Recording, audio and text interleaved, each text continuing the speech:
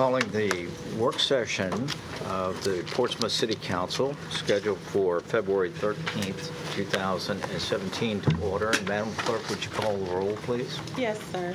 Mr. Cherry? Here. Mr. Clark? Here. Mrs. Lucas Burke? Here. Mr. Moody? Here. Ms. Simmons? Here. Dr. Whitaker? Present. Mayor Rowe? Here. Ladies and gentlemen, we have a need to go into closed session, and before you is a motion. I move to go into closed meeting pursuant to Virginia Code section- subsection 2.2-3711A1. The purpose of discussion, consideration, and interviews of potential candidates for appointments to boards and commissions, and for the purpose of discussion and consideration of performance, discipline, or resignation of specific appointees to boards and commissions. Is it- Second. Second. Okay.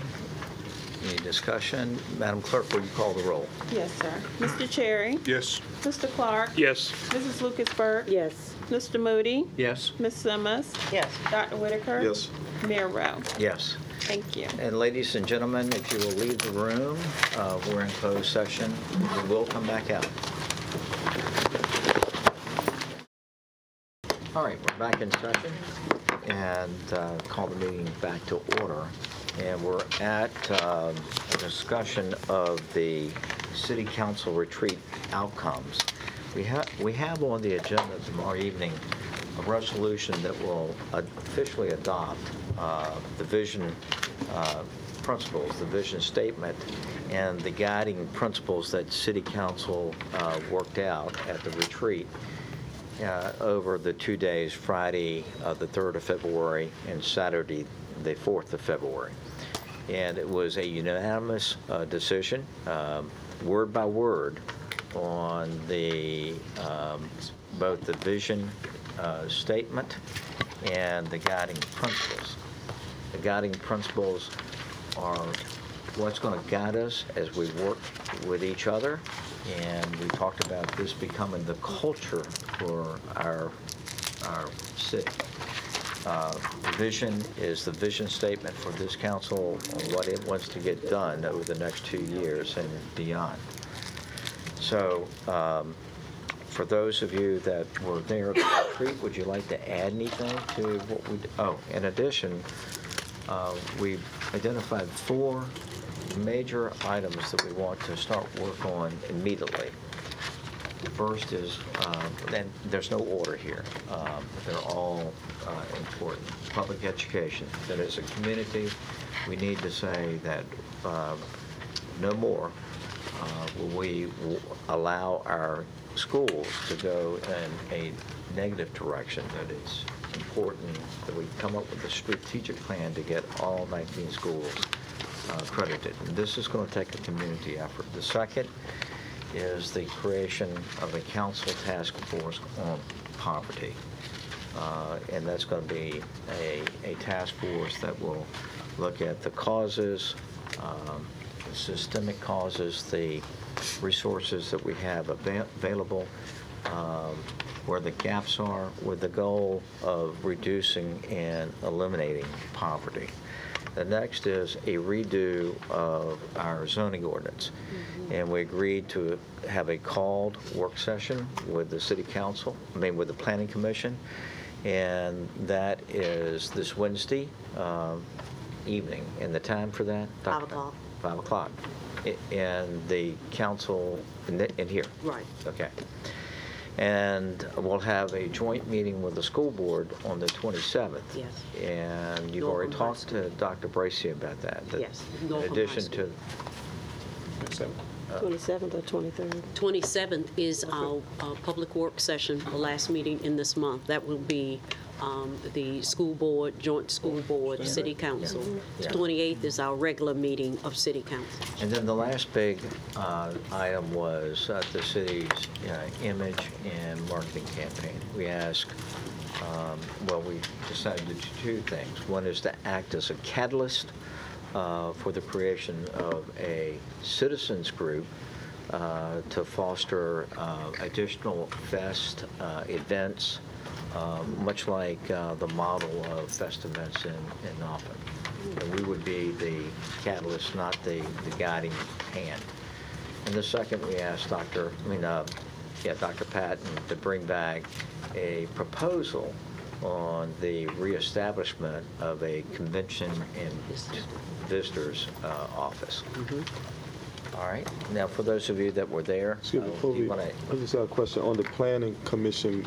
You said Wednesday? Yes, sir. Is that Wednesday or Thursday? I thought it's Thursday. Thursday. It's the 16th. It's Thursday. 16th.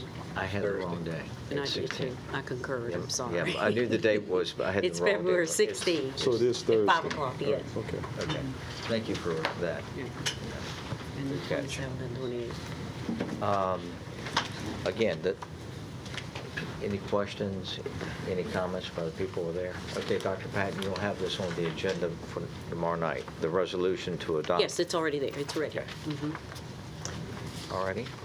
Uh, It was a super event. Yeah, I mean, we haven't been together since then, and it was a super event. Thank you. yeah, doc- thank All you, Dr. putting it together. Patton. um, And, and we should Deborah have White, Dr. some- Zen White come do something with us once a quarter. Yeah, He was really awesome. Right, and the members of council, I- I've shared with you, you- that was your first meeting, the November 2015 um, department head retreat out at uh, Tidewater Community College. Dr. White and his wife, uh, um, Alma White, conducted that. Uh, We returned and had a follow-up um, six weeks after that. And he is now continuing to work with the department heads on Oh, that's those great. initiatives from the retreat. And he will be meeting during the month of March, one-on-one with each of the department heads. I think his work is fantastic. And um, I know everybody back there shaking their head. um, because- Yeah. Can I speak?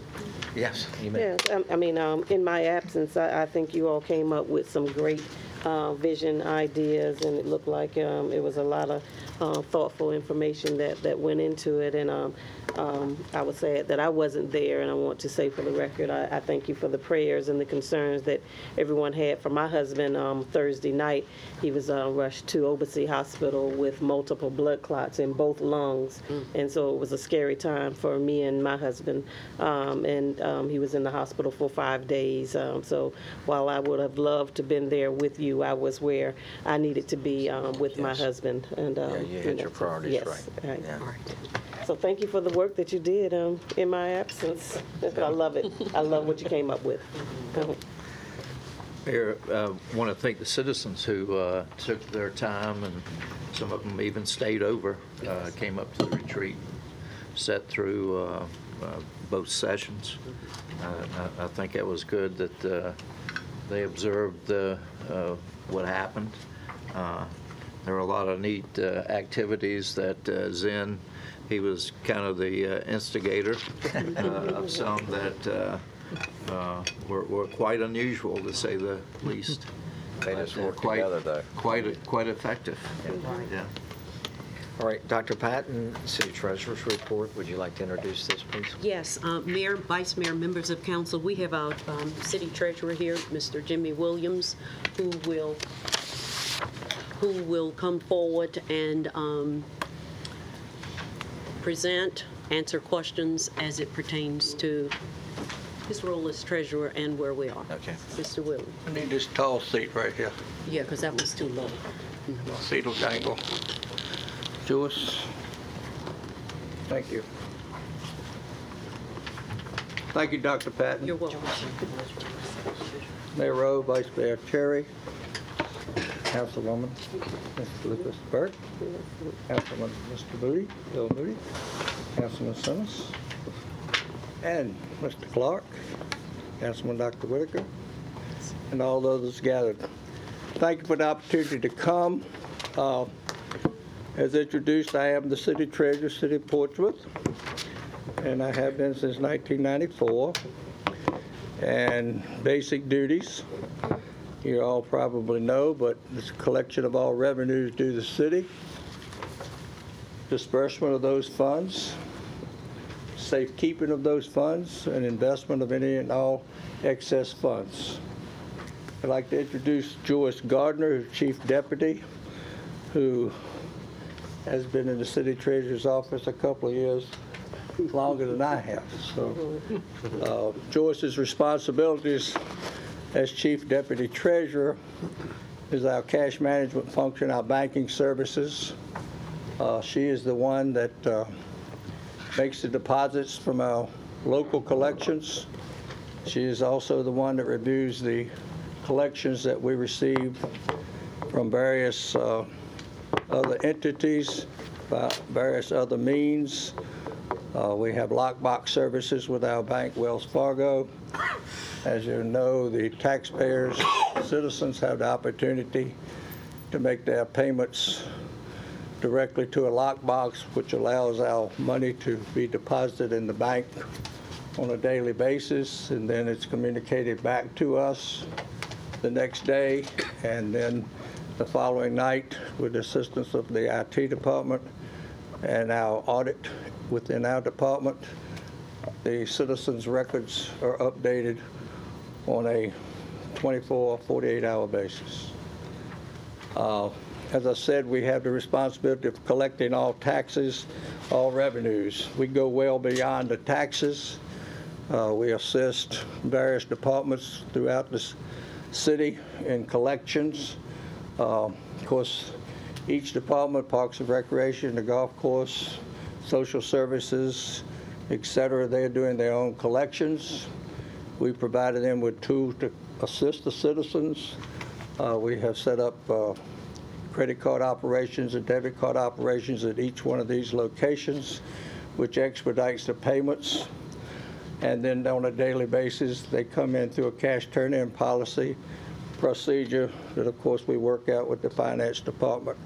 And again, that money is processed daily, deposited in the bank daily, records are updated, fund accounting is accomplished, and the records of the city are maintained on a current basis.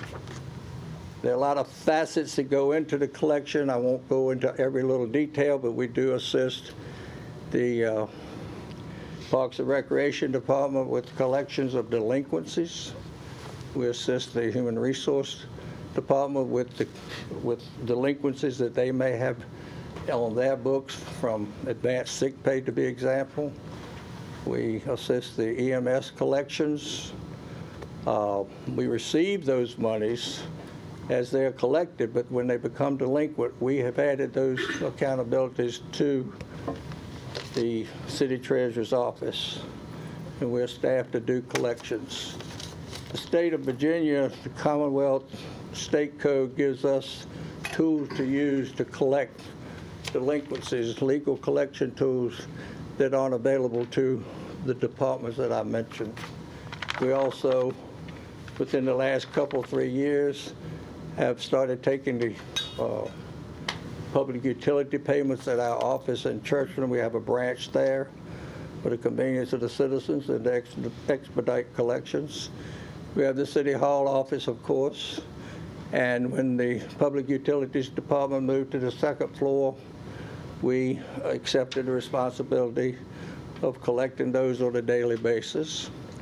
And we do that, and those monies are collected, deposited into our city depository account, and the next day, Ms. Gardner transfers those monies back to the public utilities funds. So they're receiving those on a current, and of course, Public Utilities receives their cash reports the next day and updates their public utility records.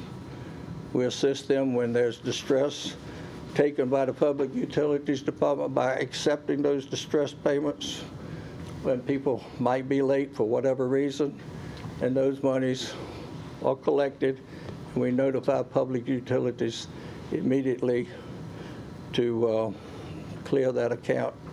The citizens are responsible for letting them know that.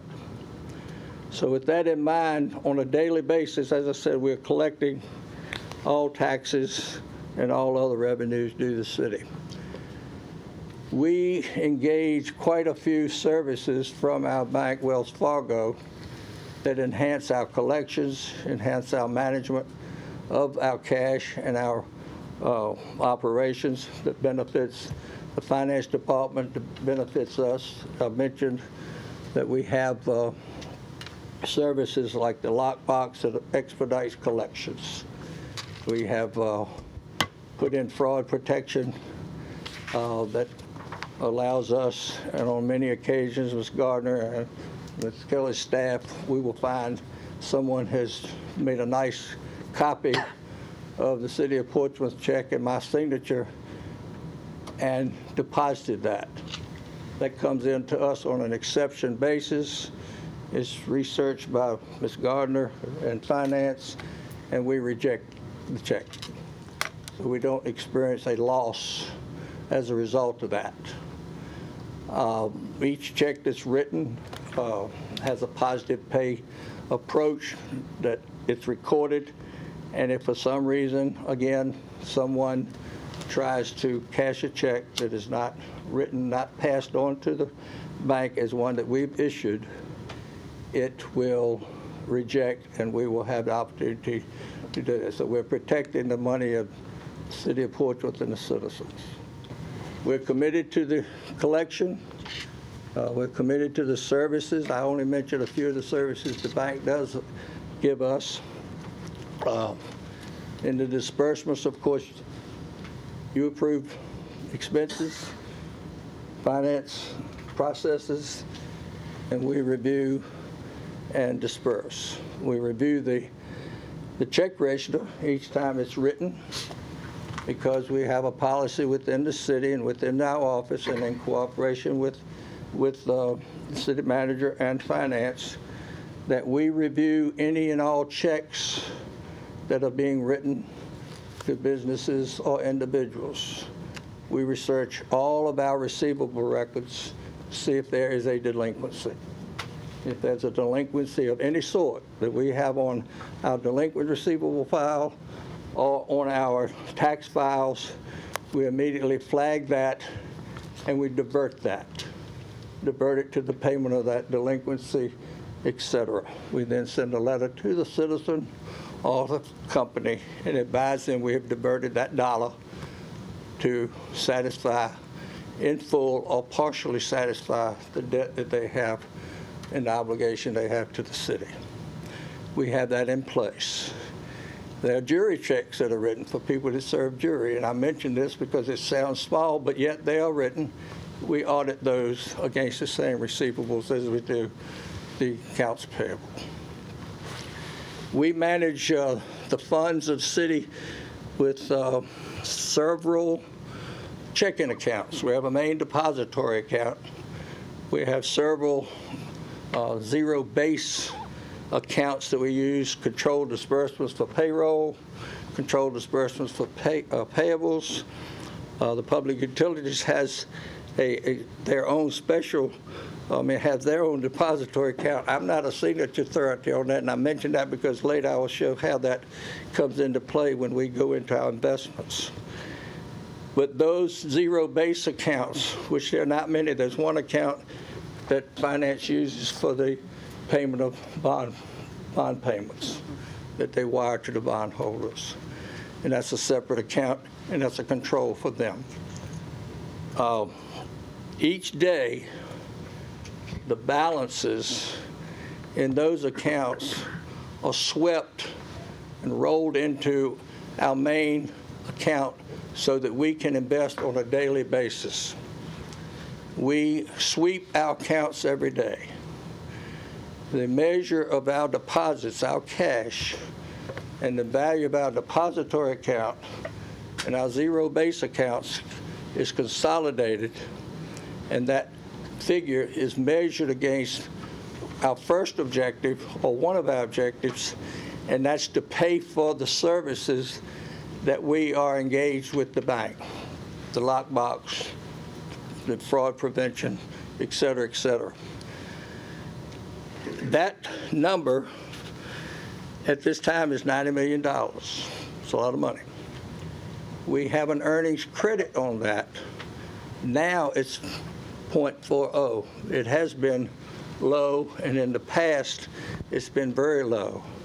And as a result, that 90 million just recently, and we evaluate and analyze this on a quarterly basis with the management of wells, and we've just adjusted in the last couple of months down from 108 million to cover our services to 90. and that's invested overnight. Now, as I said, we have the money in the bank.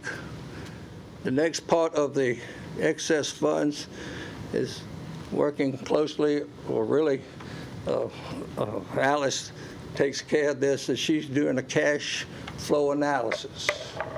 We meet periodically on that. She, she is forecasting her cash needs, her expense, to- and then expenses that she needs to cover, the daily routine, fixed general operating expenses, salaries, payables, bond payments, et cetera, et cetera. The expenses that y'all know about, and I'm sure you're aware of on a monthly basis. Of course, the budget that has adopted generates those expenses. So the budget gets into the process, the expenses of the city that I've mentioned get into the process, and the bond payments, et cetera, et cetera. And based on that forecast, then that allows me to see that on a monthly basis, we're going to need this much money, we're going to have this much expense, we're going to have a net. And I see that on a monthly basis based on what Ms. Kelly gives me. And then from that, I do the investments. The investments right now, because rates have been very low over the uh, several years, Joyce has a handout that she will show you. The process, right now, have three-month investments, six months investments based on that cash flow, and some one-year investments.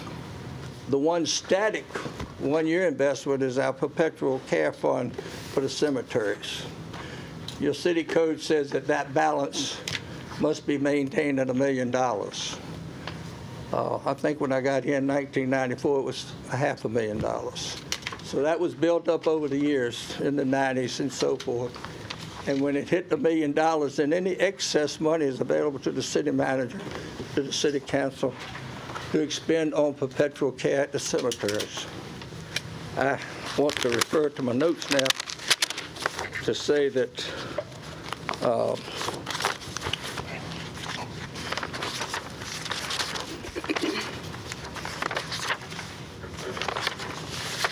Just look real quick. There's a million twenty-six thousand dollars in that one account.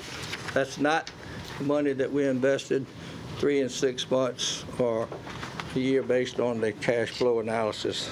That money's there. So if you choose to use the twenty-six thousand, city code allows that.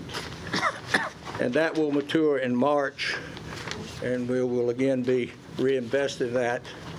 It's invested for a year, and I think that it's invested at .70. Is that correct, Joyce? Correct. If I find my glasses, I'll read it. I mentioned that one because I will also get into the the portfolio we have for our investments, and I know at your last meeting, some of you had some questions on the investments, and I will try to address those, and of course, Mr. Rowe, I assume that we'll have some questions and answers at some point in time, and we will address those. Uh, What I've given you on that first handout, that's the letter that we send to all the banks that we're asking to give us a quote. And of course, the quotes that we're asking for, if you see in that letter, are, have to be secured pursuant to the Code of Virginia. And that's listed there. And each one of them assures us of that. And Mr. Gardner has on file a letter from them stating, stating that they are secured and are legitimate uh, investments. The investments we have right now, and I'll show that in a minute, we can, we of course get a lot of certificates of deposit. I know, Mr. Moody, I believe you referenced that as a question last time. We can also invest in A1P1 commercial paper, uh, government agencies, et cetera. There's a whole list of things we can get into. The stock market went up real good today, but I can't get in there with you, with your money. Uh, So we send this letter. The sample we gave here was when we were asking for uh, a quote on the 25 million 57. The 57 is money interest that we earned on previous three or six-month investments that we've rolled. I spoke to Ms. Kelly. I said, do you need that money? Do I bring it back into the deposit account for you to use? She said, no, I'm fine. We moved forward and reinvested it, and it will be mature in July. So again, that 25, 57,000 will, is invested for the six months, and that was done on January the 17th, correct? 26. 26, okay. So that letter goes, we get the quotes from multiple banks. All banks do not send us a quote. Uh, A lot, the the bids and the yields that they're quoting us is based on their need for money. In years past, there hasn't been that need for money. Bill? Uh, Jimmy, a a question. Uh, I know interest rates and- and just going by, and- and what I usually invest is a little less than $25 million, or $85 million. Just a little less. But, but uh, I I noticed the rates, uh, and I keep up with them, uh, are, are higher than what what you got here for the amount of money. Are you limited by code to just local banks, or can you, can you invest the money anywhere? The, the local banks are giving me quote on, com- just not dancing around the question, but on commercial paper, which could be GE Credit, could be Exxon, could be any with the rating that's required.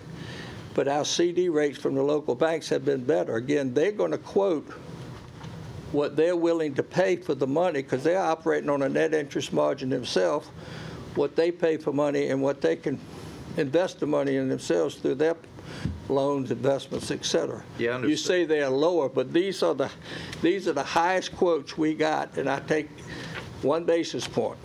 Do do you, do you go outside of the state? Do you go outside of the I have not. roads? Do you think No. you could get higher rates I can. elsewhere? I- Wells Fargo assists me greatly uh, in that, looking at the, the total market. Just for an example, back in uh, November, Wells gave me some idea of some rates outside. And, you know, uh, a GE Treasury was .55 on commercial paper. I don't, we didn't take any of those because we got a higher local CD rate. Or we have some agency monies with BB&T, is that correct? Yes. Okay, that's reflected In other words, you're not restricted by state code of going, As uh, long as they follow this guideline of the state of Virginia and that code, uh, there there are multi-security agencies all over the United States that call on us.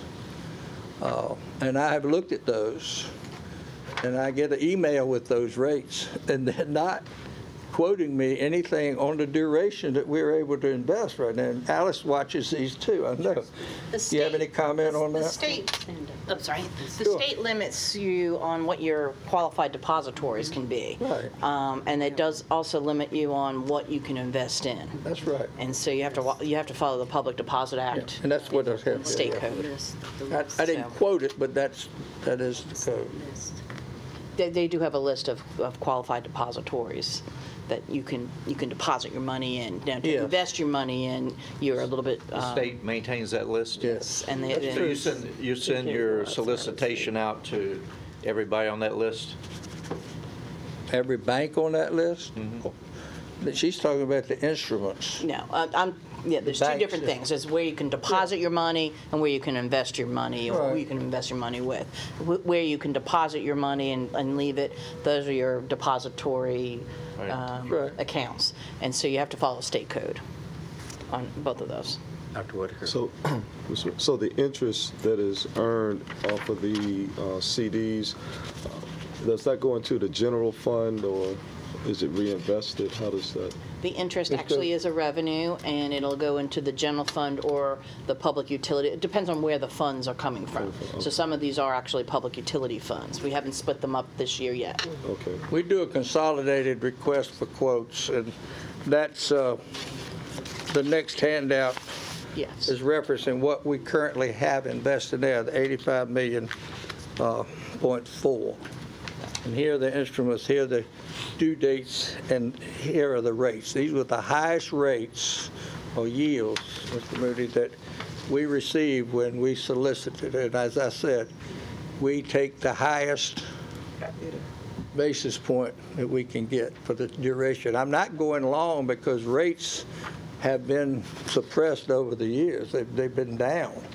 There's, we're starting to see a little bit of blip. I think we had one, uh, the, the 25 million, you see there listed at 124. I think before that was in the 60s, wasn't it? It was low. It was lower, so, but that bank had the requirement, the need for the money. Every, what the quotes we're getting is based on their need as much as ours. I'm not going out long. We've talked about that, three months, six months. But again, it comes back to that bottom line net on what she's projecting on her cash flow to see when I can go and when I need to bring it. And last time, when we brought back in the 25 million, we discussed and we reinvested that. She could have taken that and used it, and she You can can, do- you can do laddering, and that's Yes, typically what you what do is ladder the, the, uh, the terms. um, That's what I'm doing. And you can go outside the, the local area for investments. I mean, you don't have to necessarily restrict it to local banks. Well, banks are, are national banks I think that Dr. we're dealing Whitaker with. has a question. Oh, I'm sorry. So, so the four investments that we see here, are they broken down as far as public utilities, what is not public utilities, or are they combined? It's combined. So, so when I look at the 25 million figure, Uh, That is combined. It's okay. combined. okay, and so how do you determine how much goes back to public utilities and The general accounting department of finance decision when they get the money in. Right, and so what we have to do, we usually take an average daily cash balance of what's in the, in the different funds and apply it to that. We haven't done so for this year yet. Your question If we may pause just for one second, let's make sure that we get all the questions. um, that- Everybody good? Okay, I- I'll wrap up because we do this together. It's not a one-man show. She, you know, y'all, you have your budget, you have your expenses, you have your, your uh, funds, and then based on the available funds, then we, again, look at the three, six months.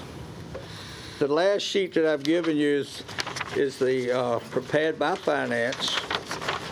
And this is showing you what we have received. I mentioned that on a daily basis, we are sweeping the available funds after we pay, have the 90 million to cover our services.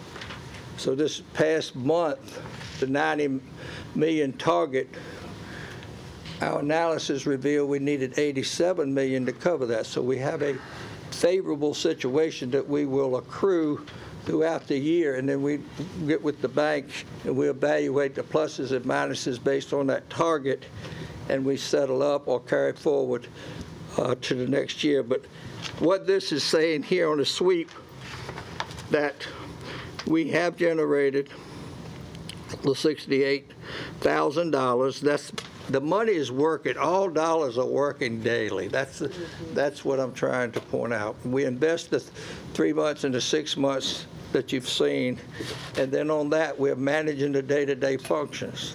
Today, I think there was 5 million available to be invested.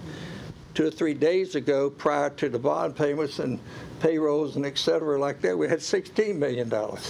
But we are sweeping daily and looking down the road in the forecast to make the decision on longer term than daily, is what my point is on that. So this, bottom line, this is what we've earned. These are the CDs, and they're forecasted, or we're forecasted based on the investments, based on the yields, that the year should end up with $440,000 having been earned on all investments, the daily sweep, the CDs, the the cemetery's not in there because that's sort of a fixed investment. So with that, I know there was a question Alice referred to me. I think, Vice Mayor Chair, you asked about the rainy day fund. I'm, I am not isolating any of those funds or dollars into an investment. They are in the, I'm operating with the cash, and she's forecasted the cash.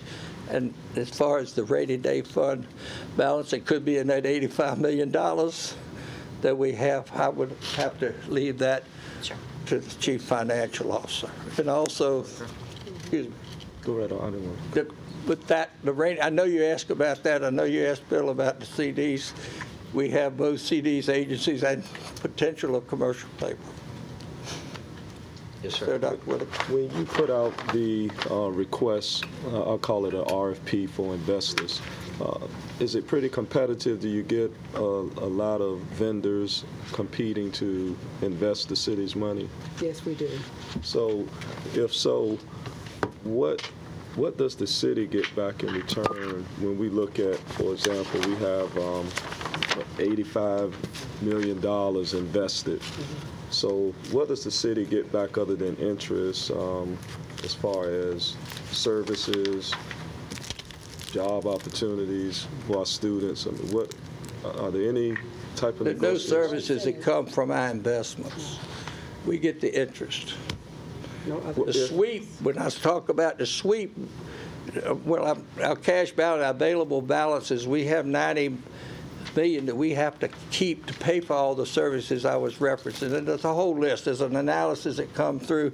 Alice and I've had some conversation about eliminating some of those. Or re, but we don't get anything back from the bank that we invest with other than the Right. What, what I'm, what I'm asking, looking at this is, for example, $85 million.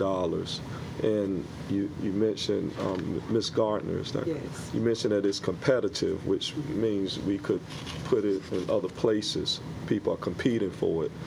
And so aren't there other services and opportunities we can get other than interest if they're competing? Well, I mean, has that been only explored? competing on the rates that they're willing to pay, but they're not competing to give us anything back in return other than the interest on our investments. Have They Have don't offer any other services. Have we ever looked into that as a possibility? I've never known that to be an opportunity for us to ask for any services because we've invested. They are, again, as we presented here, they are offered a year. It's competitive. I mean, we may get 1.3, we may get 65 as a thing, based again, as I was earlier referring to, based on their needs. Yes. They, the banks themselves are going to bid on the money that they need, and they know they, they're getting it for three months or six months or whatever. But no, the answer is no, we are not receiving any other services, and I don't know of any investment policy that I've seen that would allow us to Sure. ask for anything else. I I guess what we're trying to do is ma- make the maximum use of our cash. So we have to put it Right. somewhere. So we can put it in the bank, or we can put it where it's going to earn the maximum amount of interest that it would would happen. And so then when you take that, you have, you have about $400,000 of interest we're earning. That's what you take to use to provide, get services. So the banks really don't provide services except giving us interest. But I was just curious if you could leverage that with other opportunities that, um, We can surely ask, but I d- I I don't have never known that in any of my opportunities or discussions on the investment policies and so forth that I mean, you you She do have said to follow. experience elsewhere, so she Yeah, you you know, you other do have to follow the- the Commonwealth of Virginia and the federal right. laws of how you invest money with public Right. monies. And so you're not going to typically else? take money and put it somewhere except for a bank or no, something that's, that's that's not, that's not what I'm suggesting. Uh, We, we've been talking about education and other opportunities that uh, we can do to make Portsmouth better. And I'm saying we have, for example, $85 million that you invest in. Of course, you're going to get the interest, and I'm not saying, suggesting, put it in um, somewhere that would be contrary to the code. Just saying, what, what other opportunities could this uh, provide possibly for, um, like I said, example, employment opportunities. We have a first college program, uh, student internships, are the, are the other things that can be done as I can't to leverage leverage. that. Let's- One one person at a time, please. I don't, I, I would not feel comfortable trying to leverage that for a request for support of what you're saying. Probably ultimately be I'd yield to our attorney to bail me out on that one. Sir, pardon? I think he's finished. Bill, you you got the That basically, I see a lot of paper here. I brought some backup to, if we need to go in any details. The sweep amount is now .41. Three, two months ago, it was .23. And that's again based on a money market rate that the bank offers that we can invest in. So that, that rate moves around. It's, for the last few weeks, it's been pretty consistent. And several months ago, it was less. Is that a daily sweep, sweep rate? We sweep, that's the daily. I got No, to but I mean, the rate change, can change daily? change, it. I just looked while we were waiting, and it went down from 42 to 41. So that's a function of the daily money market rate, and there, it's offered by the money market institutional rate that we benefit from on a daily basis. So I guess we're not leaving any available cash after we pay for our services and after we've invested the 85 million. We're not leaving any money uninvested on a daily basis. Any further questions? Thank you for coming tonight. Thank you for your presentation, and thanks for waiting. Uh, Dr. Patton, you want to sum up anything on this? Uh, I'd like to just thank Mr. Williams, and as he indicated, um, Mrs. um, Chloe, our CFO, is communicating with Mr. Williams almost on a daily basis and um, keeping apprised of um, where we are with our investments, what our needs are to cover what our expenses are. So I see them as having a uh, great working relationship and a close working relationship. I have the accountability to, to seek the investments, and Ms. Kelly and I have, she has the accountability to tell me what she needs, mm-hmm. and I bring back the accountability, and we are committed to collecting all revenues due. We have a lot of legal options, and I'll just throw this in, we just had to submit our comp board budget for next year, and our rate on real estate collections is 99%, one year after the due date. Very good. Now, we have delinquencies. Delinquencies are a fact of life. Our personal property after one year from the due date is 96%. So we're using any and all tools that we have. Thank you, Mr. Williams. Thank you all. Thank y'all for the opportunity. Everybody satisfied? Yes. Let's move to the next item, Dr. Patton. Ms. Ms. Psimas Yeah, has oh, a wait, question. hold. Now, it's not really for him. I just want to follow up on what Dr. Whitaker just said Okay. about the banks. That's a great idea, not for him, I think Right, that, right. but when we get into the- this stuff about put, you know, drawing our line in the sand about education, mm-hmm. you know, you're right.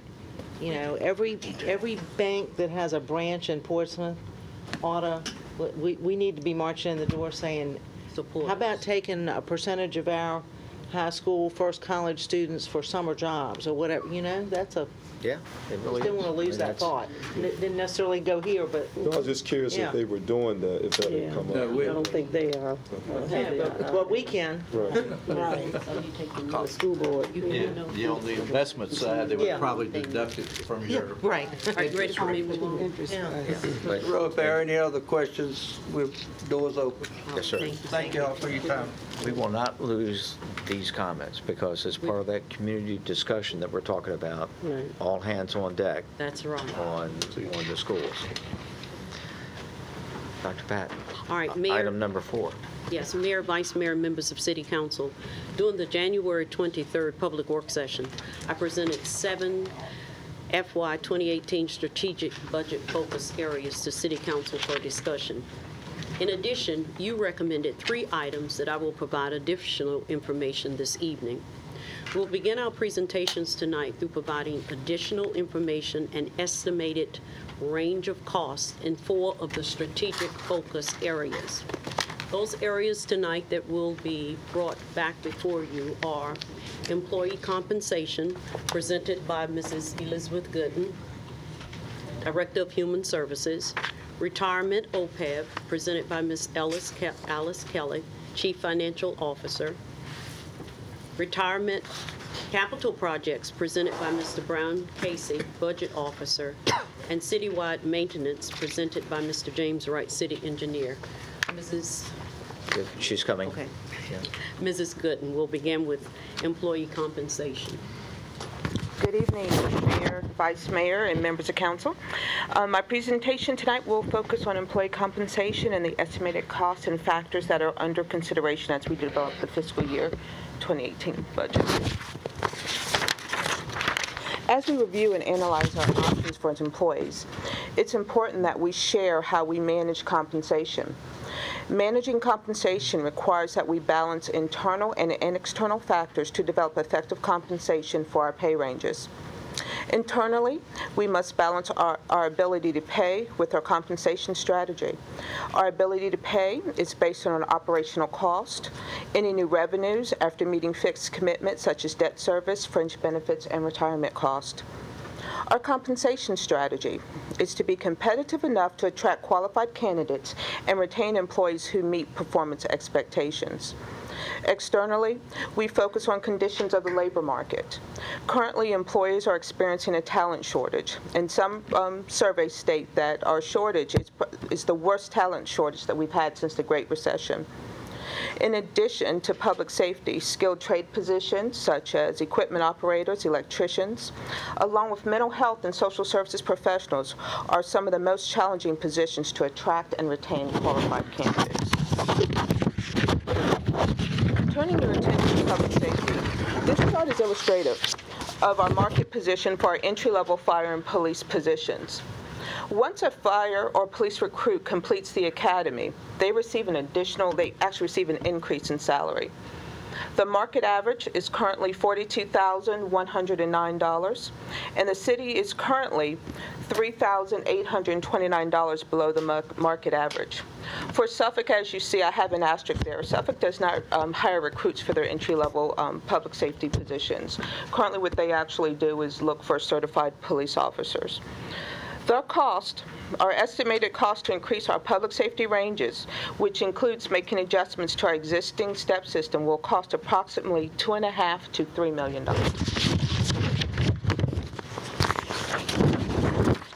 Addressing full-time city employees, which includes part-time, temporary, and grant employees, with a 2% general wage increase has an estimated cost of 800,000 to $1 million. Additionally, a 2.5 um, wage, general wage increase has an estimated cost of 1 million to $1.2 million. And a one-time 1,000 net bonus has an estimated cost of 1.6 million to $1.8 million. Please note for that one-time bonus, it includes public safety, whereas for our general wages, it excludes them. It should also be noted that the governor has in his fiscal year 2018 proposed state budget, it includes a 1.5% bonus for state employees. Any questions on this? Did they ever get their raise, the state, the, No, they have, They no- didn't. no, they not yet. The- That's in the proposed budget for um, 2018. in the box? In that box? This in that, this brief in our box? Yes. Yes. It can be, yeah. You don't have a copy, you want a copy of it? It's in He the doesn't box. have Yeah, his, it's in the box. It's in the box. it's in the box, but he doesn't It's have on his that thing. The first bullet, general wage wage increase, that includes utility It's in the employees. box.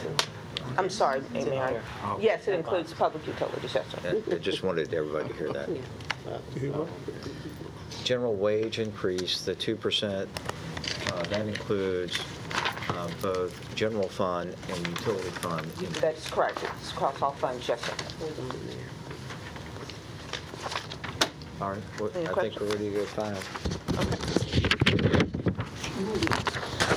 Living wage. A living wage is defined as the minimum income needed for an employee to meet their basic needs and includes food, housing, utilities, transportation, health care, child care, in some cases, education. A living wage differs from a minimum wage in which that the minimum wage is determined by federal law and can fall below what is necessary to maintain a quality of life, and in some instances can leave employees to rely on governmental assistance. We are proposing to address living wage compensation for general wage employees whose salaries actually fall below a $30,000 threshold. While we have not set a living wage in the city of Portsmouth, we currently have approximately 225 employees who make less than $30,000 annually. Of this 225 employees, our lowest salary is $17,794, and the av- the lowest salary is $17,794. And- And how many And- people fall in that category? Of the 17,794, Right. Of the Um, 225? Mayor, um, if I had to give you, a- If if you want to get us. Can I a get number. back there Ask your question again, Mayor, so we be clear on what your question What is. percentage of the 225 fall in the la, uh, the In the lowest? 17, in the 17. lowest, we can get that back. It's eight fifty-five an hour. And those are full-time positions? these are These are full, all full, full-time all positions. full-time positions, sir. Yes, It sir. might be good to stratify that, um, that 225, maybe do it by brackets. uh, Okay. 17 to 22. Sure. Give us the percentage, Yes, we can Okay. do that. something that makes sense, so we can get a feel for Kind of where they fit across right, that the table. distribution of the Sure. 225. Yes. Can do that. Also, that third bullet point, are you saying that the 225 are 17 and over, or that there's some within 225 that are 17? Um, There are some within this 225 who've been working for the city for 17 years. The average tenure of this group is about five years. But we did want to point out, we do have some long tenured employees working for us who fit in this, um, under this $30,000 threshold, sir. Pick up on what Dr. Whitaker said. If it's not too difficult, let's try to make some correlation between tenure and stratification, too. Right, because I'm getting ready to say, um, in this 225, right off the top of my head, I know a 18-year employee who's making $23,000. Has worked for the city 18. 18 years and making 25, thou- 23,700 and something dollars. Okay. Can can we also get a corresponding salary for some of our other cities? We can do that. Um, The estimated range, um, to go back to what we were speaking of, this group does include, as we said, some of the employees have been with the city for over 17 years.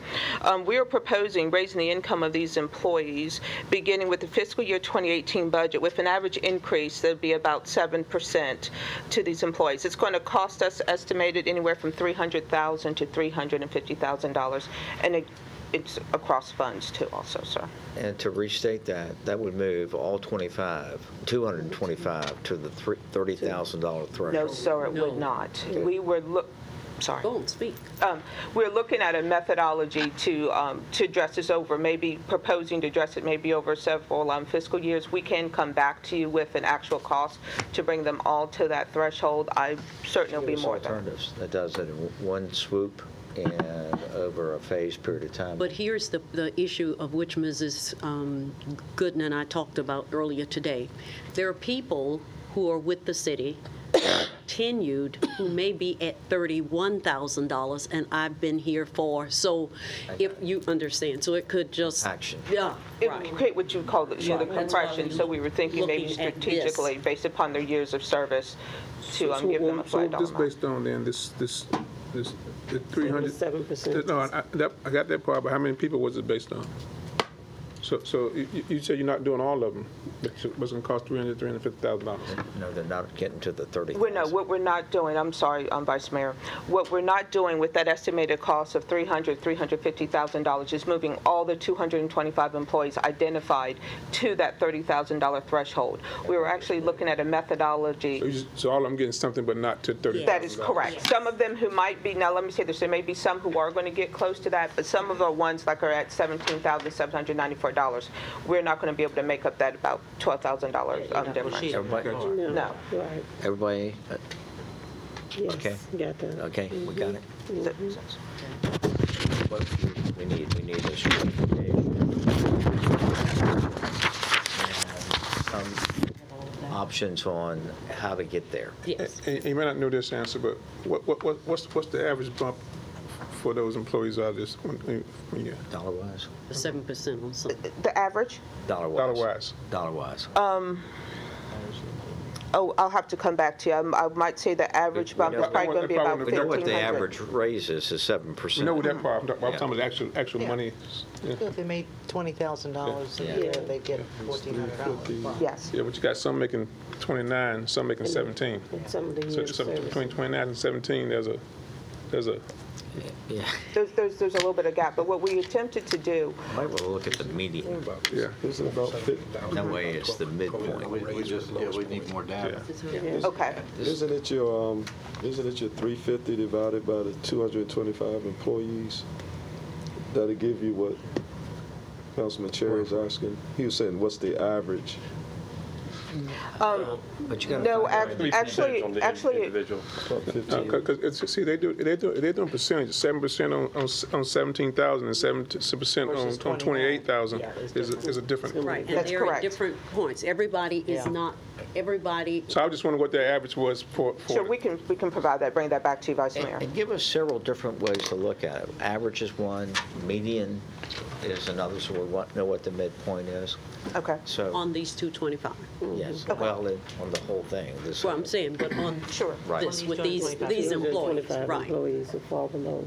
And I Okay. think it was tenure, too, we had in Yeah. there. Yes, we had tenure in there too. But too. it was one year is different than they've been eight Yes, years. or- exactly. The goal was again And that to would help us too with the compaction question. Right. So when we do the distribution, that will include um, where they are as far as their salaries relative to their tenure, and we'll be able to show you in ranges, so you'll be able to see basically where they Like a fall. scattergram or something. Yes, a scatter plot, yes. sir. Yes. Okay. Mm-hmm. So, mm-hmm. so are you, let me just make sure, that last bullet point, are you saying for the 225 employees who fall below $30,000, if you give them on average a 7% increase, it's going to be between 300,000 and 350? Yes, sir.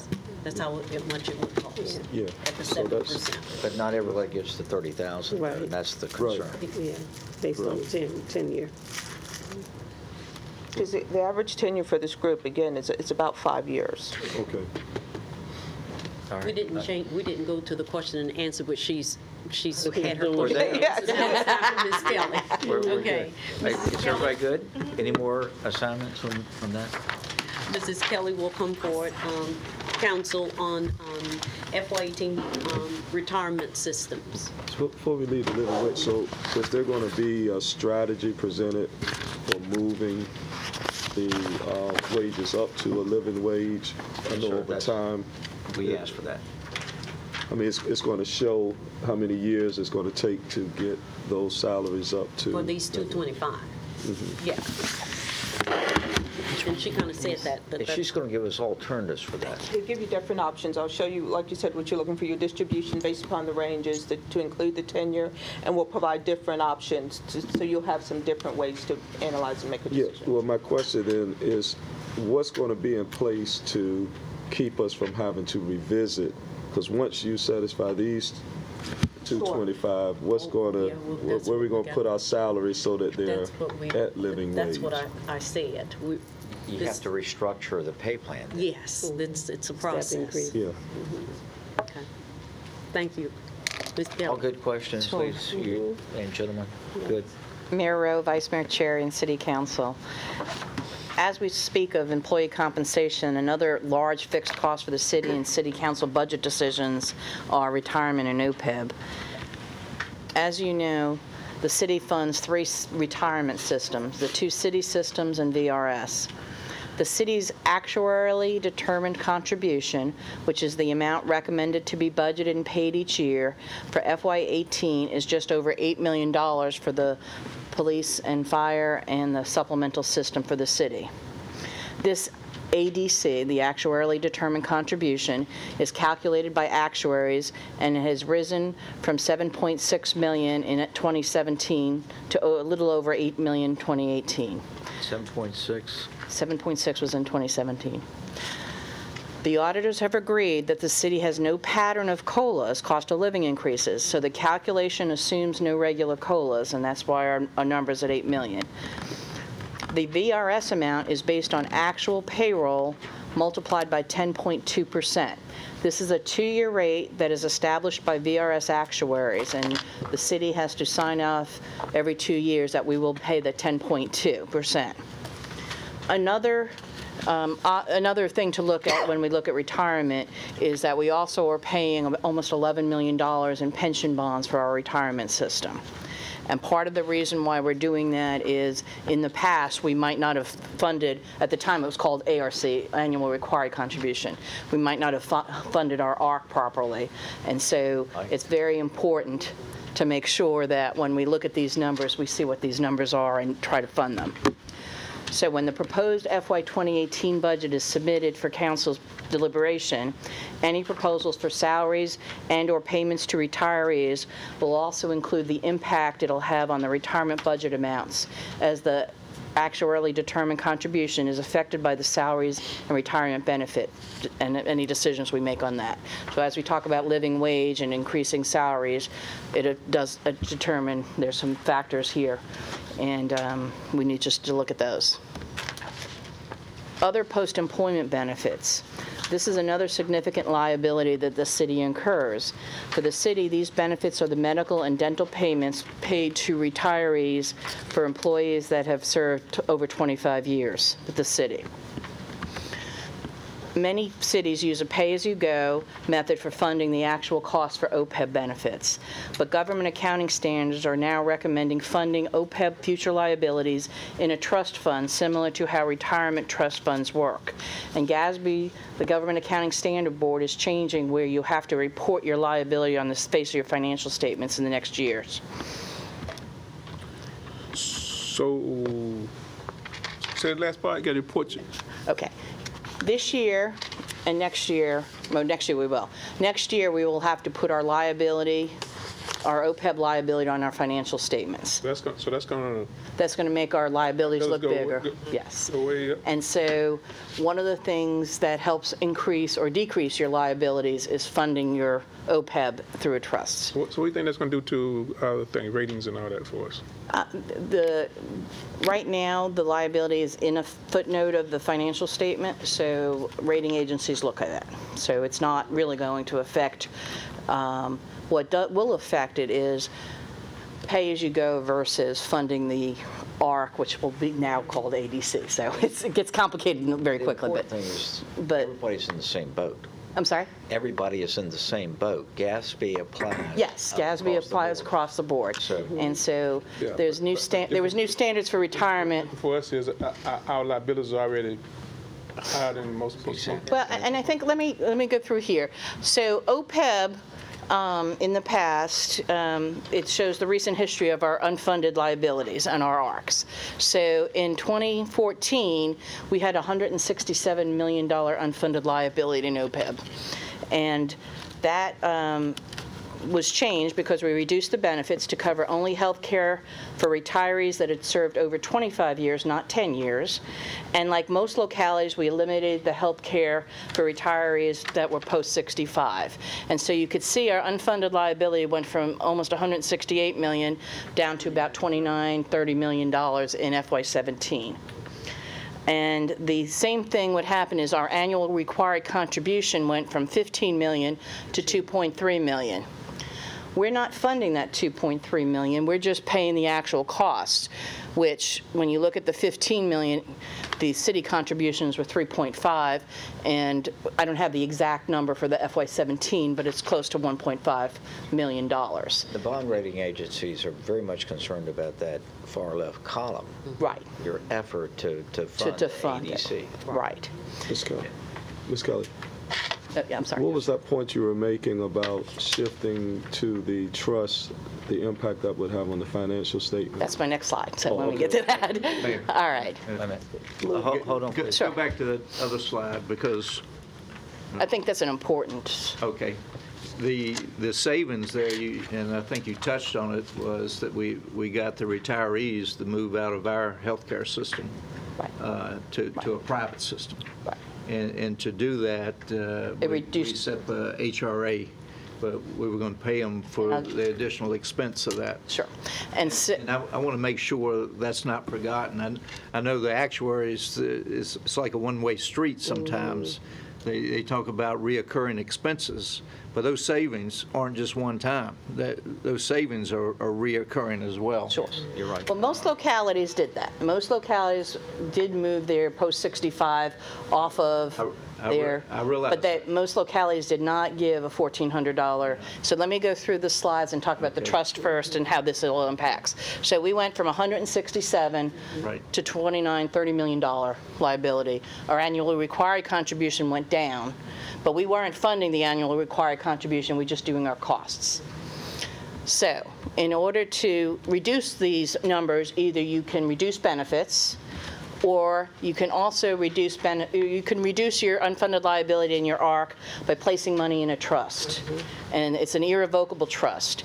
And right now, the city has $3 million in our healthcare uh, insurance and OPEB fund that we can take and reserve in the OPEB trust without any impact to the budget. It's a $3 million fund balance that's sitting there there's various options for a trust fund. We can put money into a large pool.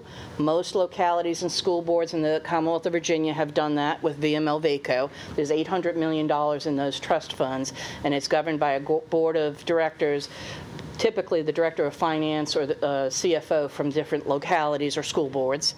You also, there's also a national public agency retirement system trust. And the city of Portsmouth, because we have our own retirement system, can also create a 401H trust within our retirement system to fund a trust. So there's, there's different options there. So the impact of an OPEB trust, if we have a $29 million, and this one you read right, left to right, you have a $29 million unfunded liability. If we put $3 million in a trust, that liability goes down by $1.3 million. If we put the $3 million plus our ARC 2.3 million, it goes down to almost, by- almost by 4.4 million dollars. So it goes from 29 million to 25. Our annually required contribution is at 2.8 million, and it would go down to 2.5 million if we put $5 million in a trust. The schools, the school system has already established a trust. They created a OPEB trust with Wells Fargo in 2008. Yeah, we remember that. We remember that. So in this, they, um, in FY12, they funded 7 million, and their ARC was a million million at that time. And then this amount is very unusual because most of the time, people just fund their ARC, not pre-fund a whole lot of money into a OPEB. And so right now, the OPEB trust fund has pre-funded over 5 million in their trust account in, in Wells Fargo. And so this is sitting on an, as an asset on their financial statements, where typically OPEB is a liability on your financial statements. So during the FY 2018 budget, we're going to be exploring how we can recommend to the city council about funding our ARC for the 2018 budget. And with the financial constraints that we have, we are recommending that we work together with the schools to maximize the use of that trust fund asset that the schools has and minimize the required OPEB funding that we need to do. One option is that that $5 million trust be the basis of the city's OPEB contribution and thereby save funds for other budgetary needs. The HRA impact, and I think you brought this up, Mr. Councilman Moody. In 2015, we implemented a healthcare reimbursement arrangement, and the contributions at this time did not op- impact the OPEB unfunded liability or the ARC, as City Council at the time approved a five-year step-down plan last year. Wait, uh, When sorry? council established the 1,400, there was no step down. It was to be considered on a year-to-year basis. It was. That's right, It's year to only the- year. And, and then last year, the council uh, talked about having a five-year step down. So when we dealt that- with the actuary and we said, do you have a recurring expense? It was, no, we had a step-down plan at that time. So now, because we don't have a step-down plan, they, we do have to talk with the actuaries and tell them, no, we have something that's recurring. And so that will impact into our OPEB calculations. I think it's important to know that any, any council can whack that down to zero. Right. All it takes is four Sure. votes to do that. That's Sure. right. And so I would argue that um, that's not really something that you carry on your balance sheet per se, Um, because uh, council could take a vote tonight to whack it to Sure. to zip. With retirement, when you do COLAs and cost of living increases, if auditors see that council continuously does a cost of living increase and there's a pattern, they will say it's a pattern, and they will require your actuaries to keep it as a pattern. So the $1,400, if we do it one year, two year, three year, four, as, as soon as it starts to become a pattern, they need you, they want you to include that as part of your expense. What- What's the definition of a pattern? And that's what you have to determine. It's, it's, there's, there's no, typically it's five years. And typically it's, it's, we- you're you're doing something for five years or four years. We're not four at years. that level yet. We're in the third. No, but there, as you get to that level, I wanted to show the impact Sure, of it. Sure. And so if you continue to fund this at $1,400, your liability will increase 4.5 million, 4.9 million, excuse me, and your ARC increases 268,000. So there is an impact as a, if there's a pattern to it. If When there's a the- pattern. Yeah. If and when there's a pattern. If-then relationship. I'm sorry? It's a if-then Right, relationship. exactly. We're not there yet. We're not there yet, but it can get there. And so that was just something to consider Right. as part of, um, um, as we do these benefits. There are implications to how we go out and make patterns in cost of livings and benefits. Thank you. Okay. Uh, Next, um, members of council, we will have capital projects presented by Mr. Brian Casey, Budget Officer.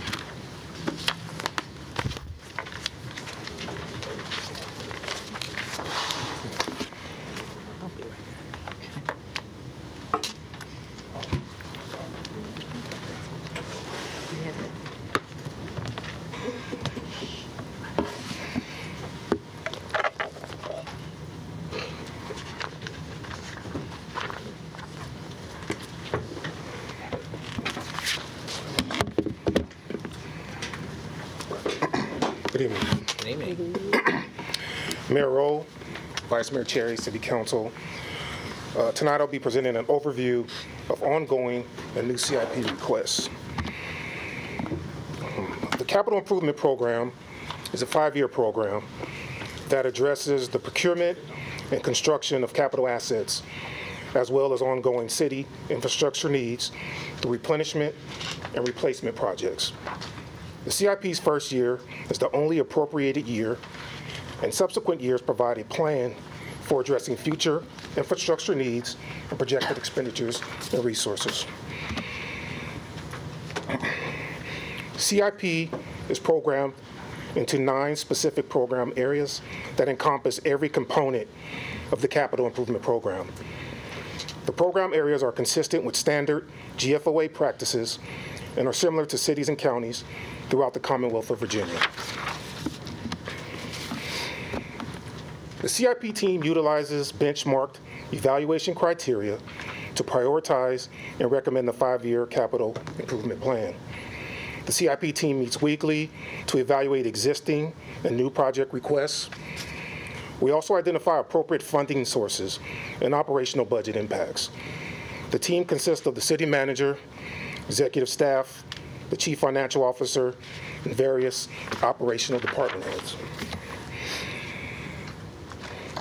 Capital planning is critical to water, sewer, transportation, sanitation, and other essential public services.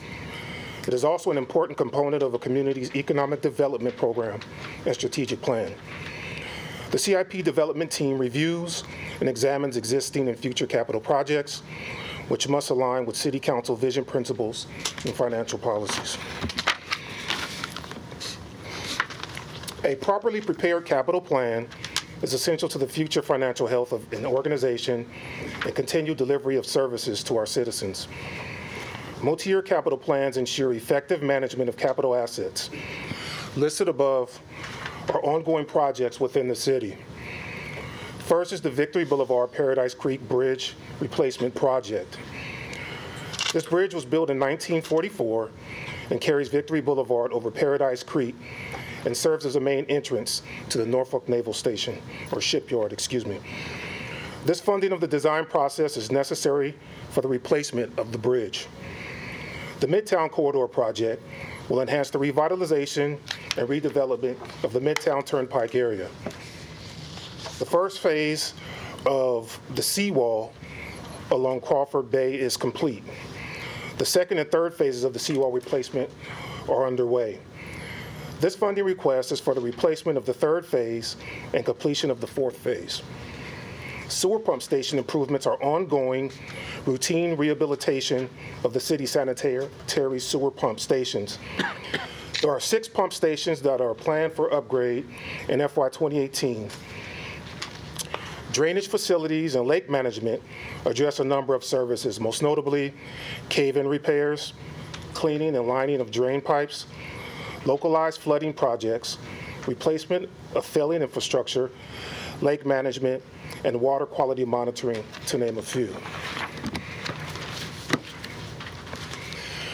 The utility meter replacement program provides for the systematic replacement of all residential and commercial water meters with an automated meter reading system.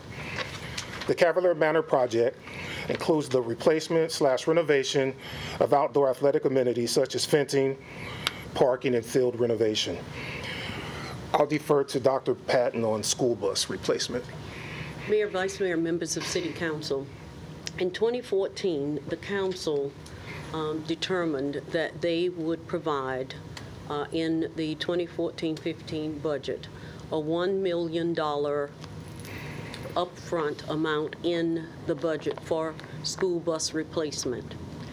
However, in the correspondence that we found as it related to the $1 million, it was based upon um, the million being put up front.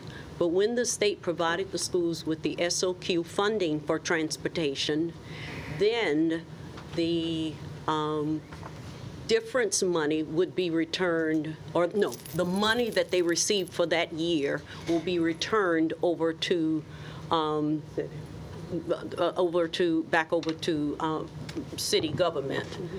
In 2016, the schools received $658,500. In 2016, the schools received, in addition to our million, $658,500. And in 2014, they received the same amount, which meant that for buses with the state SOQ and the city given the million, they actually had $1.6 million for transportation, which included buses.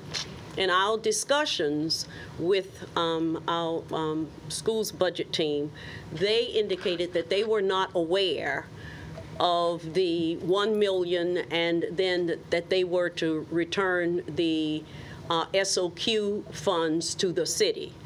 Uh, when asked, well, what happened to the 658,000 each year you received it, um, the response was, it was just used for other kinds of programs. But we never could get an answer uh, as it relates to that. I think it's important that when we um, are aware of such occurrences, and I do have the documents um, as it pertained and spoke to the SOQ funds returning. Um, the difference with that, if they wanted to remain at a million, getting the 658, then the city's contribution would have been 341 something thousand dollars and not a million each year. So that is something that in this this 18 process and in our meetings that will be coming up with the schools, um, joint meetings, that will be something that would come up for So- discussion. So there's 1.8 uh, that that wasn't returned to the city? No, we, you, you upfront, um, each year, in, and including last year, we put up a million Million. for school buses. Right. The purchase of school buses. Right. But through the SOQ dollars that the schools receive from the state for transportation, which are their buses, they've received 658,000 plus dollars each year, For each year? for each year, from Years in 14, For three 15, years. 16. Right. And they'll probably project it for that amount in 17.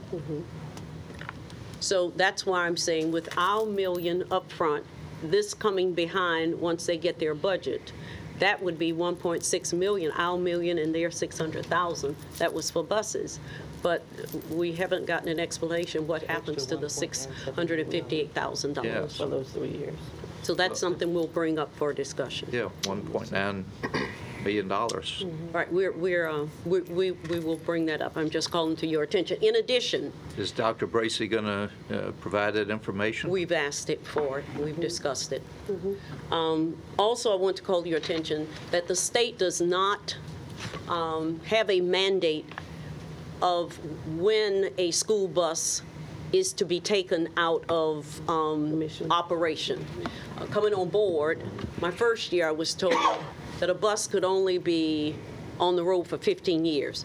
We've researched it. The state does not tell the school jurisdiction that's determined by the maintenance of the bus, the whatever on the bus and whatever. So we were operating on the premise that at 15, you got to come out and get 10 more. So that is not the case.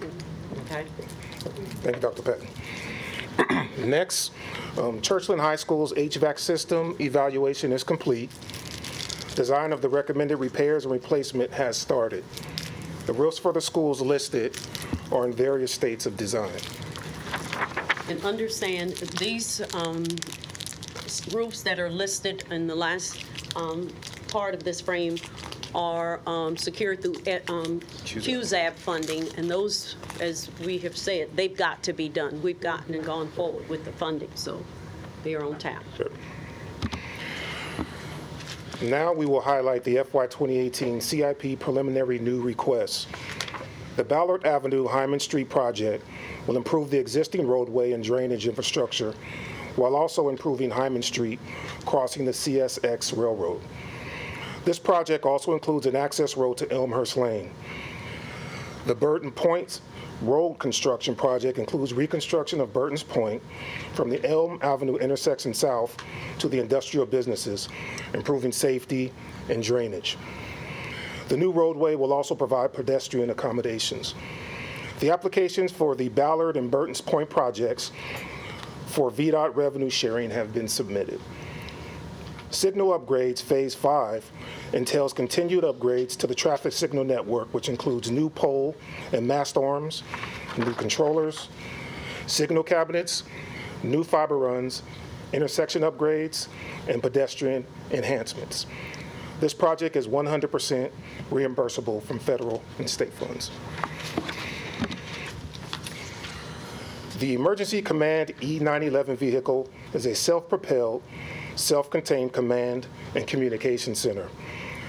This vehicle would be dual purpose, a command control vehicle and an emergency backup E911 center for the city of Portsmouth. The new SWAT team delivery truck will be equipped with certified medical supplies, storage cabinets, reinforced weapons safety storage, um, ATF certified light and sound device, and various storage cabinets to hold supplies not kept in individual officers' vehicles. You know, while, while we, speaking of equipment there, do we have any plans to, uh, uh, for our public safety to use drones? Drones. Not something that, nothing has come up in that discussion, but that, that is something we can ask that question. I, I could see the potential uh, for the use of those to save lives, you, you know, keep officers out of uh, Harm's danger. way, yes. Yeah. That has not come up in any As well discussion, as but they are, surveillance. yeah, using them across. I remember in Dallas, Yeah. uh, it was a drone that dealt with that um, situation they were in. No, that wasn't a drone, that was a robot. robot. Yeah, a robot, Robot. but a high, We knew right. what you meant. That's right, okay, excuse me. On the ground drone. Right. It did, it, it served its purpose. and they have asked for that in their operating budget. In the- their operating robot, budget. Not the drone. No, the The the robot. robot, not Oh, the, the- right, okay. We definitely will bring that back and ask that question. These It'd are tactical to see the questions. Chief's uh, take Yeah. on that. Right. All right. Portsmouth Public Schools is requesting funding for a modification to a, add a 100-space parking lot at Churchland Academy. These are the schools. These are the schools, their new requests. On the Churchland High School stage, sound and lighting renovation project will modernize the stage and the auditorium. The Hodges Manor Elementary School roof HVAC replacement project will replace the roof and 36 HVAC rooftop units. The Wilson High School cooling tower replacement project will replace and relocate the HVAC system at the school. Next, Ms. Kelly will discuss economic development and information technology CIP projects. Good evening. As part of the CIP, we've also tried to uh, look be innovative, and we are trying to um, Uh, develop a project called Strategic Economic Development Fund, and we'll request funding for economic initiatives, including items like readying or acquiring parcels for sale, developing public venues to spur or enhance private developments, or to potentially re- relocate city operations for future developments. Another economic development, the new port side, is being placed in the preliminary CIP for funding of a 5,000 square pavilion and associated site improvements. This will help draw people downtown by utilizing the waterfront space for fun events. And the city also has numerous IT projects. The first one is a multi-phase project to install citywide fiber that will in turn reduce city operating costs and provide a potential revenue source and is also an economic development driver. Other required IT projects include the replacement of our election system software and the replacement of some outdated human services document imaging.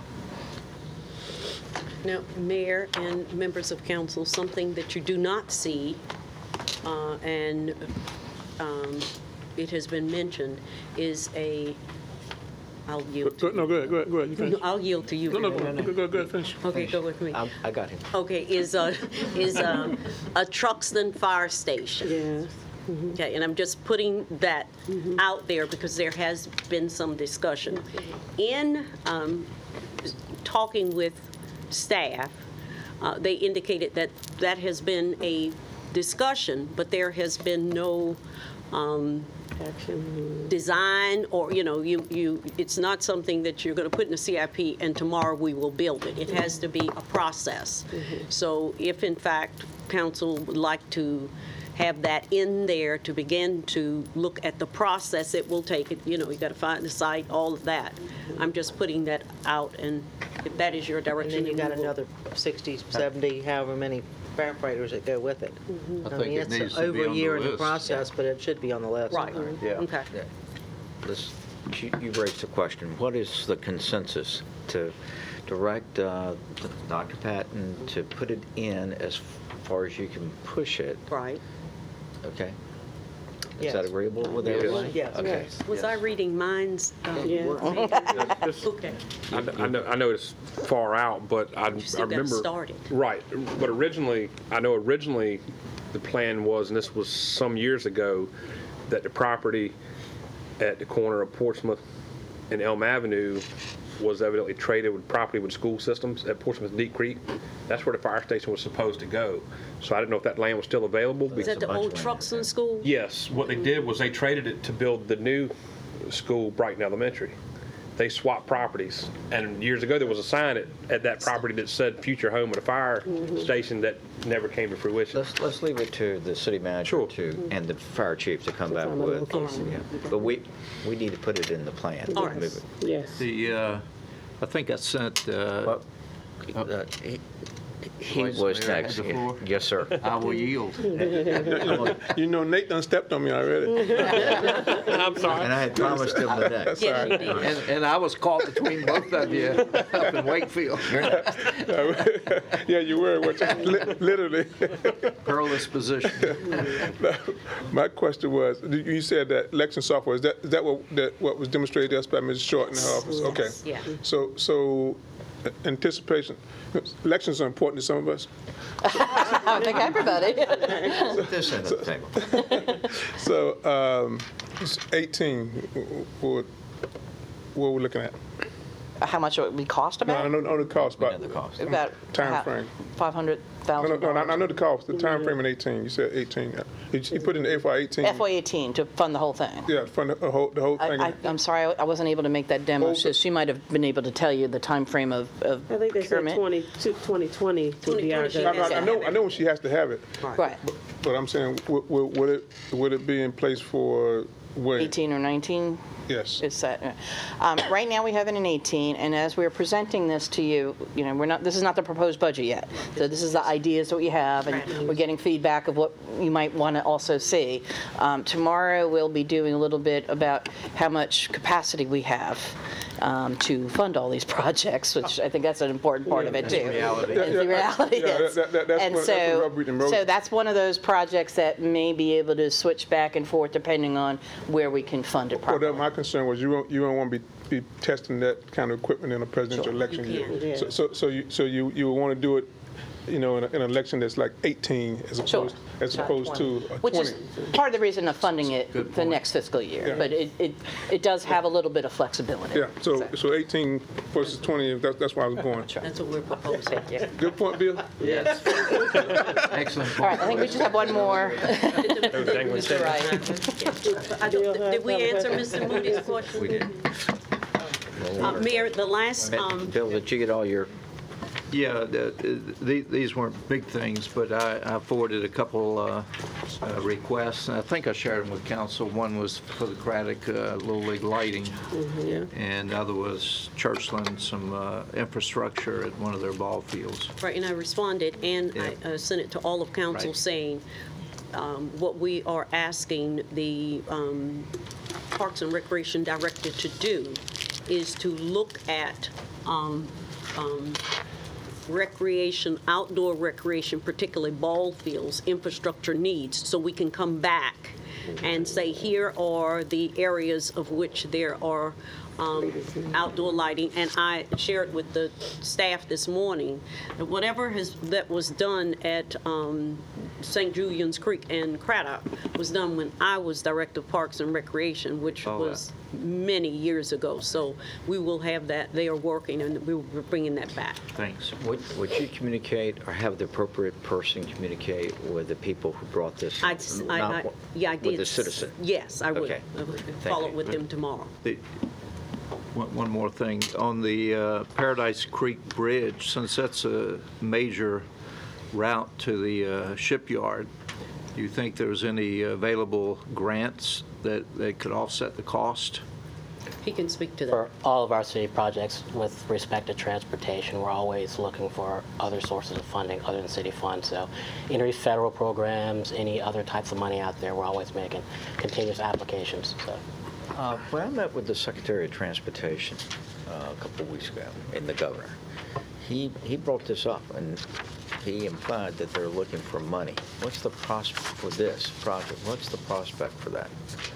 And I thought that was pretty neat, that they would zero in on that bridge, which I, I agree with Bill. It's, it's critical. It's a, on a major arterial, arterial street to, uh, Absolutely. yeah, to a major bridge. that I haven't heard particularly from the state.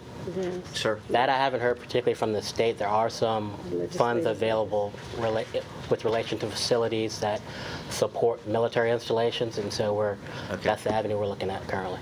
And we have already some money for that Yes, ma'am. bridge. All right, so we already have some money for Paradise, the bridge. How much do we have right now? Do you know? Just under a million, Right, and Much so, Just the total cost? I mean, uh, right around 9 million. right now, Wow. Uh-oh. But Sure. we, we, as Mr. Wright said, with all of these projects, looking at both sta- state and federal funding that we can go for in order to fund some of these projects, particular road projects. Yeah, but uh, th- this one does ha- have uh, military implications. uh, You know, it's a major arterial route to the shipyard. Right, right. So I I would think there may be something there. I don't know. But we're looking for it, Worth asking. right. Okay. Good evening, Mayor, Vice Mayor, members of the City Council. The city team this year's for uh, citywide ma- maintenance is focused mainly on city buildings. Um, Similar to other infrastructure, municipal buildings should be inspected on a routine schedule to observe and document conditions or issues that may require preventative maintenance so that large capital projects can be strategically planned. City staff are responsible for the maintenance of over 70 municipal buildings. In FY 2017, city staff implemented a new process to evaluate critical systems in municipal buildings to include, but not limited to, structural components such as exterior walls and foundations, roofs, HVAC, elevators, and life safety systems. This is a coordinated effort with city staff and on-call consultants who are committed to this annual process we are able to strategically identify citywide maintenance needs and costs in the FY 2018 budget and beyond going forward. This will impact capital improvement program requests for renovations to various buildings, replacement of HVAC, roof replacement, and other CIP lines dedicated to municipal facilities.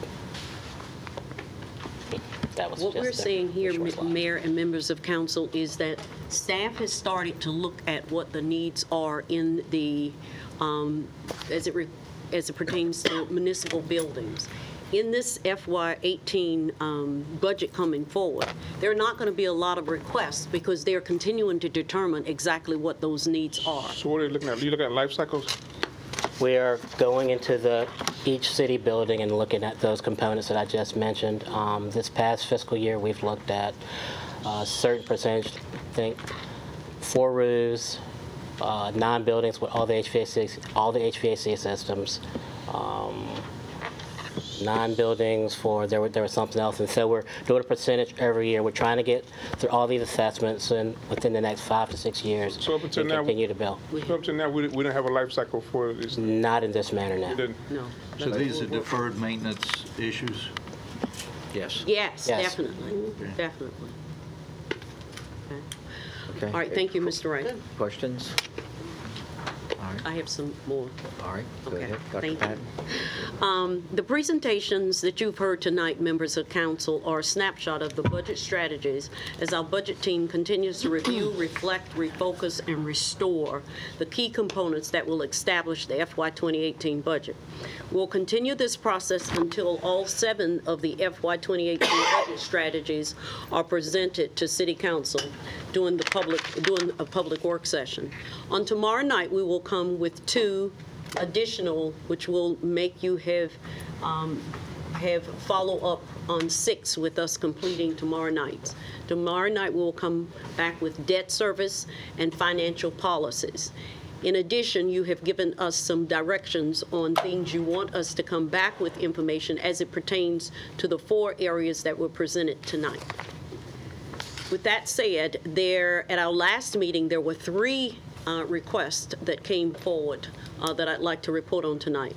Number one, City Council, you will have before you tomorrow night a CMR for your approval um, for the 1,007 active retirees to receive a one-time stipend of $500 net in their March retirement check issued by John Hancock.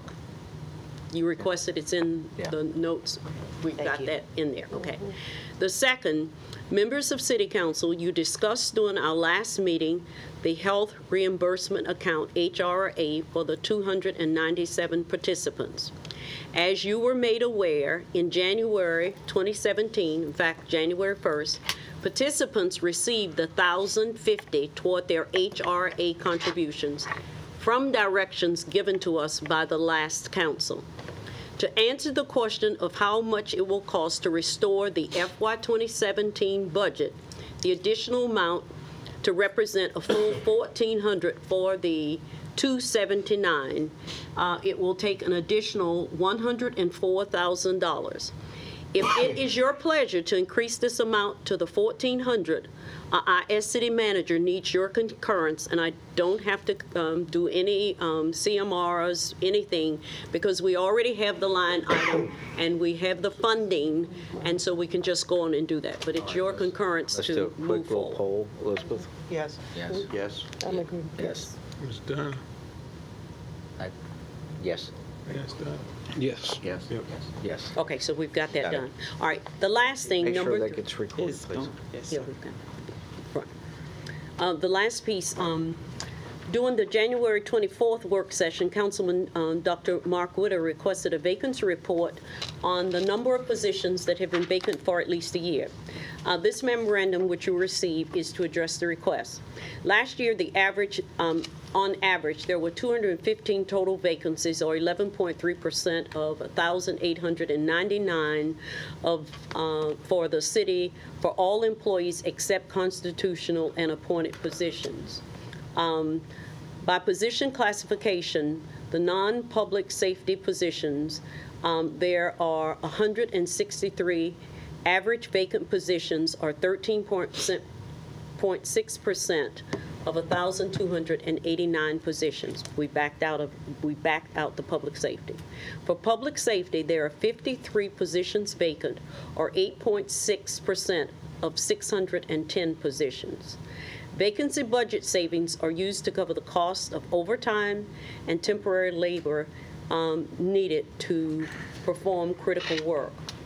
Um, So, um, and, and um, it was um, Councilman Nate Clark who asked um, for the information on the um, public safety, so I included it in this You're gonna memorandum. pass that Yes, yes. Does that include the amounts that those vacancies represent We don't have that, uh, the, the actual dollar amount there, because um, as, uh, speaking with both finance and HR, that fluctuates, but we can get you an average estimated amount. Dr. Ritter. We can do that. Okay. Um, The other, yes. No, you're good. No, I was going to say, there was a question in regard to our employees who worked um, Snowstorm yeah. Helena. Yes. And everyone who worked overtime for Snowstorm Helena was paid. We have a P- uh, um, CMR where you are going to be appropriating the $285,000. So everybody who worked that have been paid, Okay. okay? That in- Any that concludes my report. The only question I have is, which I know it's not tonight, but as far as the public safety positions, can we get a breakdown of police, fire, and communications? Yes, So we know um, each I can, department? I'll, I'll get it for you, and I can tell you off the top of my Everybody head. okay with that? Uh, Fire, it's 31 Oh, you got it right there. in my head. And police, it's 32. 31 and 32. No, Fire- fi- fire is 21, and police is 32. 21, not 31. 21. 21 and 32, which totals the 53. But um, are, we have the dispatches in there? The dispatches? Dispatchers is 10. Dispatch is 10. I didn't have that. And that's on top of the 32. That's right. Okay. Okay. Does that answer your question? Yes. Or Any this other concludes- questions? Okay. This concludes my questions? report All for tonight. This meeting is adjourned, and we'll see everybody tomorrow Tomorrow night. night. All right, Tomorrow. My question is,